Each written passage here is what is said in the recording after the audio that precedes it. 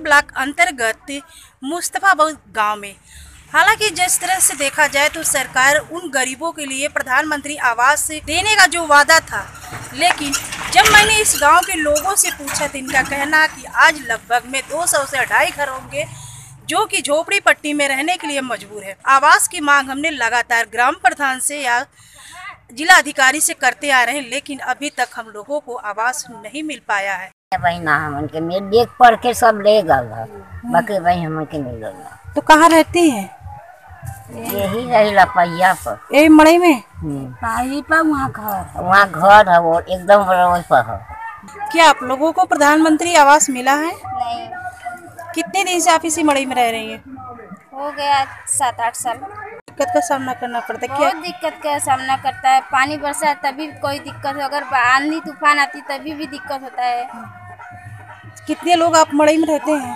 हम लोग चार लोग हैं दूसरे हमारे बच्चे हैं हमारे आदमी है ये नहीं है। आज सात चार साल हो गया उनको इस पार होने। अभी तक आपको आवास नहीं मिला? नहीं।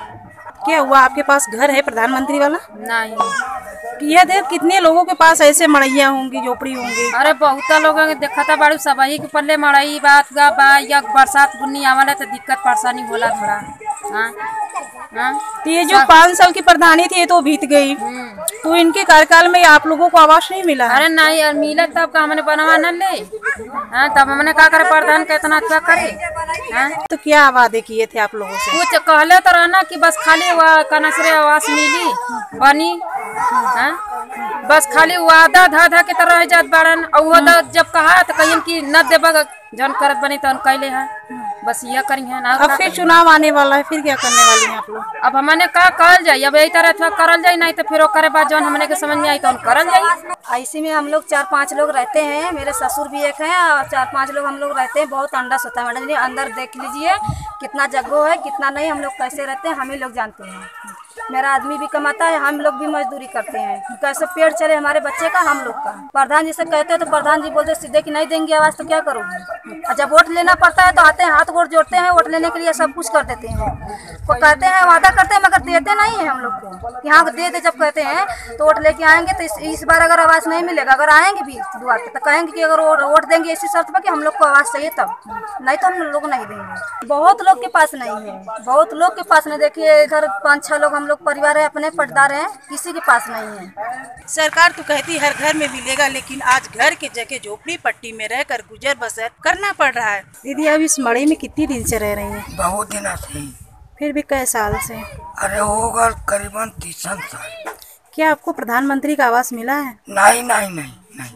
कभी नहीं मिला? ना प्रधान नहीं दिया। कितनी प्रधानियाँ बीत गई होगी अब तक? प्रधानी भीतर चार थे? तो वर्तमान एक ही प्रधान थे चा, चारों बार की मतलब अलग अलग थे। एक थे प्रधान तीन बार बहना एक थे प्रधान बहना कुछ ना कही इनमें रहने से किस तरह से दिक्कत हो? अरे दिक्कत भैया हो पानी बरसत बा लेकिन चुचुआत बाड़न हाँ। लेखन दौड़त बाड़न रोटी रसोई ना खा पावत बाड़न कुकुर खात बाड़न। करीब सवा सौ आया है आवाज़। यहाँ की आबादी क्या होगी भैया? अ, वही है बारह तेरह हज़ार। जितने आवास पास हैं हम्म। अब सरकार एक के बाद तो सबको देगी नहीं। उनका तो जो मड़ई में रहने वाले हैं जो कच्चा मकान में रहने वाले हैं हम्म। जो पात्र है सबका आवास पास हो गया है। अब ये है कि सरकार एक का दे दे दे तो, तो बन जाए नहीं तो तो भाई अब अब तो हमारे यहाँ पच्चीस से आया अभी समय पच्चीस से हम मैंने प्रेशर बना के बड़ा गाँव हम लेकर आए हैं। अच्छा सर। और गाँव में तो पाँच छः छत है। अच्छा तो कितने का मांग किया था सर आपने और हमने तो मांग किया था तीन सौ सैंतीस आवास। तो सारे बन गए सर जो पच्चीस आवास पास हुए थे तो?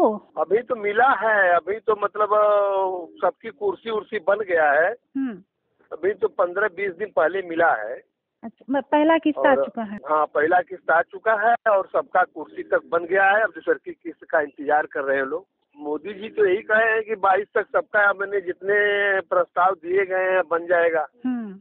और अब वही है अब अब उनकी मंशा से जैसे आ जाएगा तो बन जाएगा बाईस तक। खबर लहरिया आपकी खबर आपकी भाषा।